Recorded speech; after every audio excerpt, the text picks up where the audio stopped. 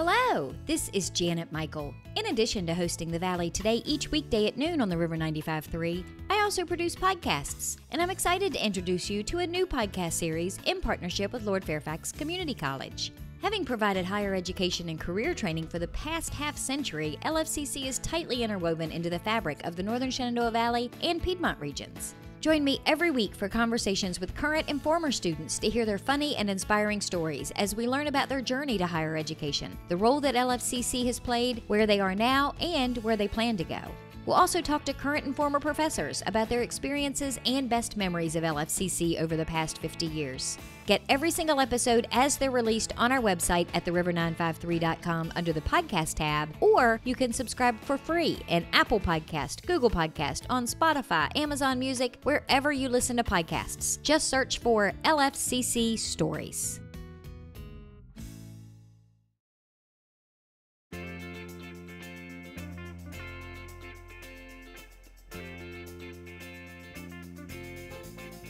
Hello, and welcome to the Valley today. I am your host, Janet Michael.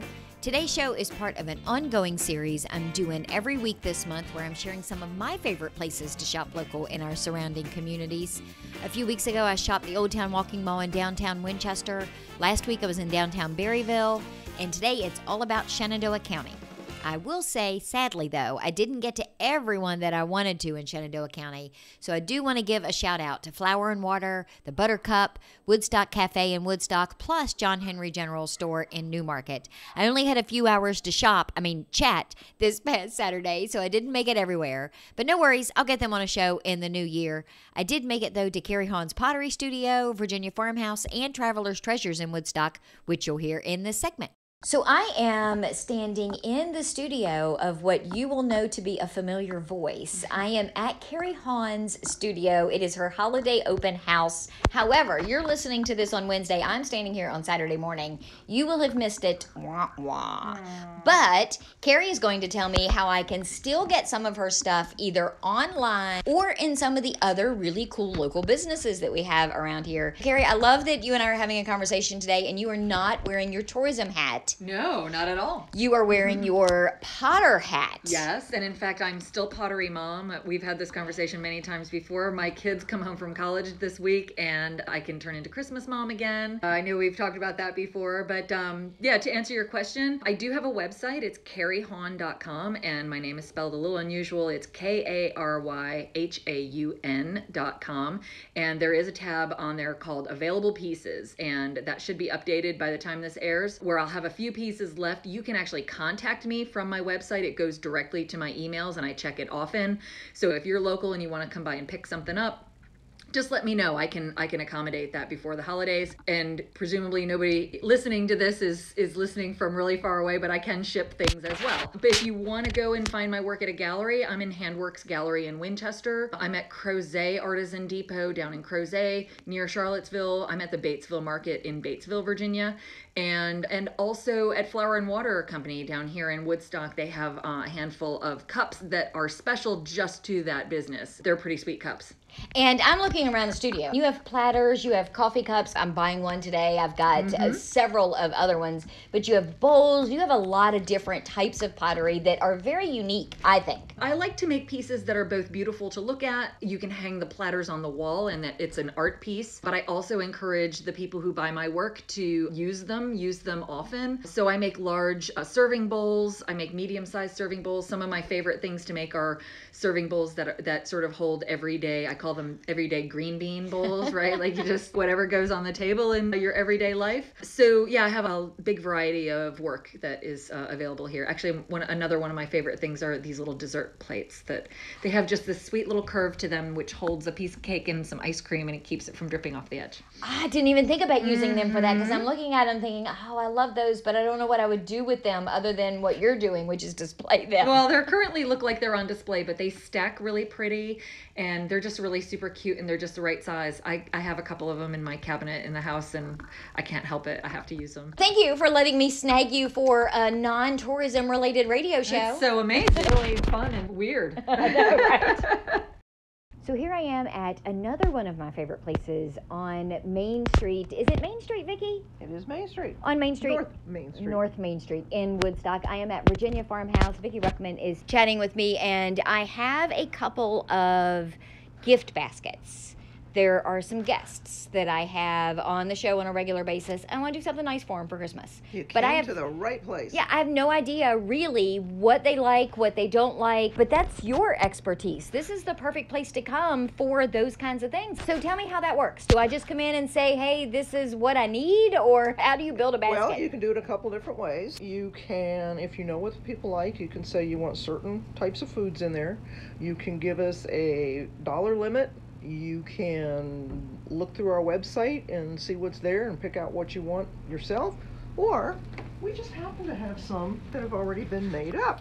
I'm standing here looking, and you have coffee. There are spices. There are syrups. There's vinegars. There's jams. There are jellies. There are salsas. There are candles, jewelry. There's Christmas decorations. There's pottery. There's so many.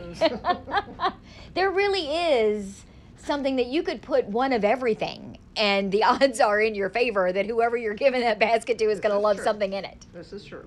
And the thing that I love, I gotta say about gift baskets is even if I get one and there's only one thing in it that I like, there's almost always something in it the kid likes, the husband likes, and it really is a basket for the masses, which kind of gives you even more props when you give it to somebody as a gift. That's right. What are your hours here? We are open Wednesday through Saturday from 11 a.m. to 5 p.m. If you're desperate and you need to come on another day, all you have to do is let us know ahead of time and we'll meet you down here and open up for you. Fantastic. And what is your web address? You mentioned the website a minute ago. Allthingsva.com. Our corporate name is All Things Virginia. Oh, and I didn't even talk about the wines. There, there's wine. There's all. There's other stuff you can do for gift baskets. Yes, we have uh, a lot of Shenandoah Valley wines, plus we have value wines from different parts of the world. Facebook, Instagram, are you on those? We are on both of those. Virginia, Virginia Farmhouse. Farmhouse. Thank you, Vicki.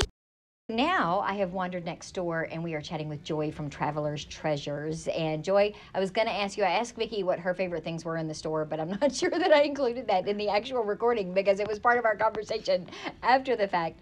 I love what you have done to this store since the last time I was in and it hasn't even been that long. You've really added some cool new things here. Yes, I have. I've added a lot of woodworking and a lot of pottery. Does it just come to you? Do people walk in the door and say, "Hey, carry my stuff"? Do you find it somewhere else? Do you like surf Facebook and troll places and Instagram to find cool things to put here in the shop?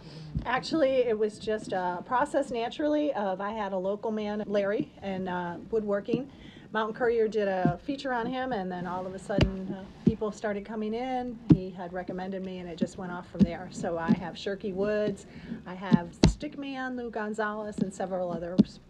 My new favorite things. So I love the wooden trays, and that, I believe that's one of your Yes, newest your vendors, and they're made locally. So I that's always an upside for me. And so I have to tell you a funny story. These cute little cloth things.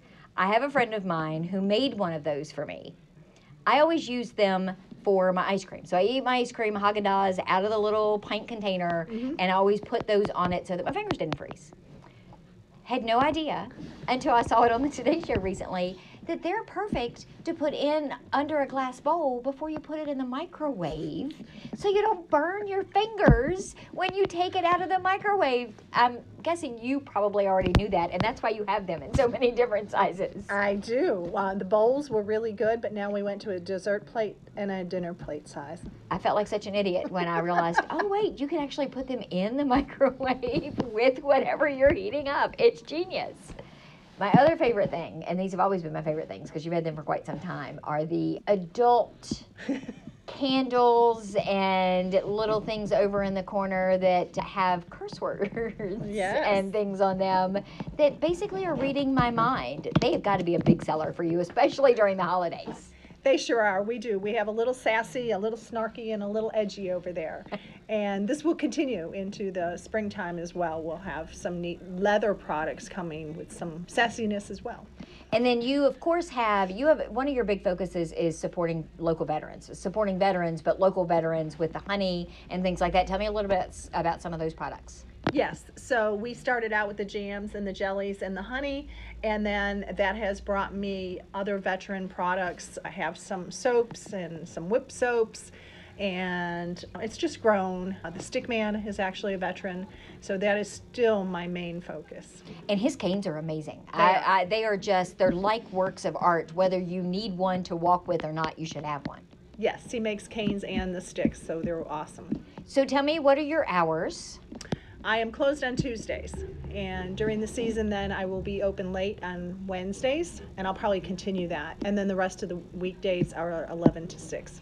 Fantastic. And then I know you have uh, social media. People can find you on Facebook. You do a lot on Instagram. Yes, I have. I have liked the ease of Instagram, so yes, I'm doing some reels and some posts and uh, my Facebook. Yes, And do they just search Traveler's Treasures to find you in both of those places? yes, and if you talk to your phone, you can say "Traveler's Treasures," and now Google and everybody else knows about me. Perfect. And address. Tell me exactly where, because I know you're next to Vicki at Virginia Farmhouse, but what is the address here 118 North Main Street.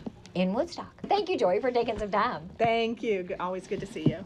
We're going to take a quick break. When we come back, you'll hear my conversation with Sue from Clementine Vintage in Strasburg.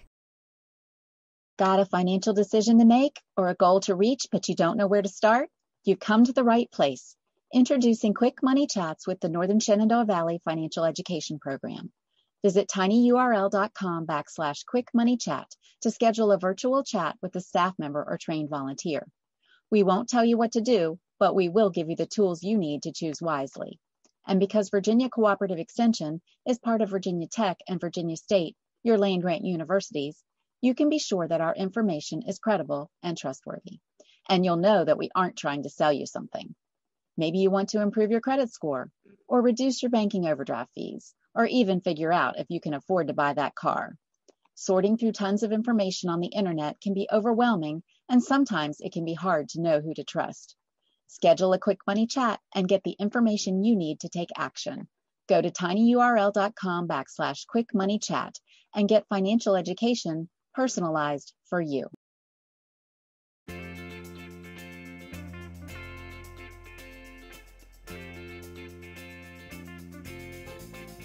Welcome back to the Valley today. I am your host, Janet Michael. If you're just joining us, today's show is part of an ongoing series that I'm doing each week this month where I'm sharing some of my favorite places to shop local in our surrounding communities.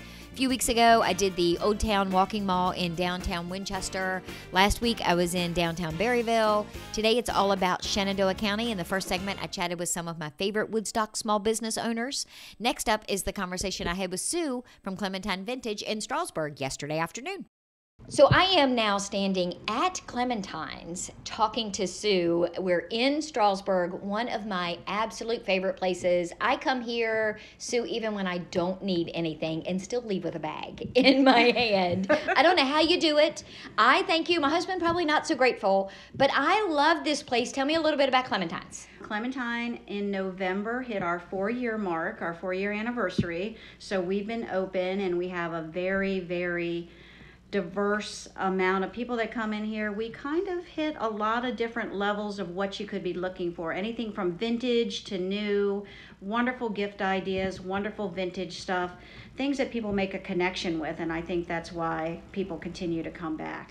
I love that the diversity comes from local businesses, local artisans, and some of them aren't necessarily even local to the Shenandoah Valley. I remember you telling me once that you try to bring things in from other small businesses all over the place because supporting small is your goal. Absolutely, absolutely. I'd say a good 70 to 80% of our new product is from either local or small business, similar to like an Etsy type business owner. So we do, we'll try a lot of different things and see how it goes. And that's why it's always changing and fresh in here. You'll see a lot of signs around the shop that say fresh picked.